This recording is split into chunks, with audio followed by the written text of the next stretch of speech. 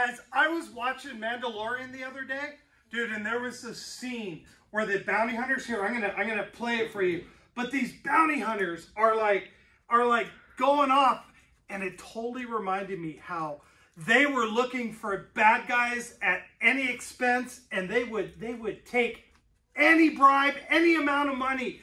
And it was just reminding me of how Satan wants to get to us so bad.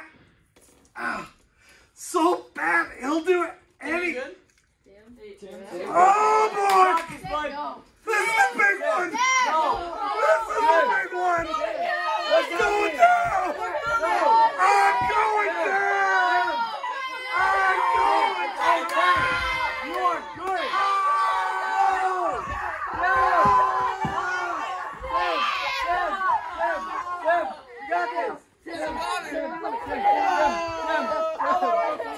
here.